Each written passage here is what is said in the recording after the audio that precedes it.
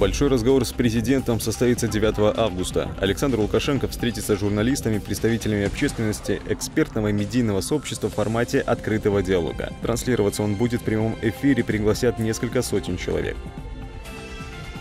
Белавия возобновляет регулярные рейсы на курорты России. 7 августа самолеты по маршруту Минск-Сочи-Минск будут летать трижды в неделю. С 8 числа с такой же периодичностью возобновятся полеты в Краснодар. Перед покупкой билета рекомендуется уточнять условия по въезду, выезду и пребыванию в стране назначения. Жилья за первое полугодие в стране возведено более половины от годового плана. Таковы данные профильного ведомства. Темпы строительства на 15% опережают показатели прошлого года. Таким образом, за первые 6 месяцев построено почти 2,5 миллиона квадратных метров из запланированных на год 4 миллионов.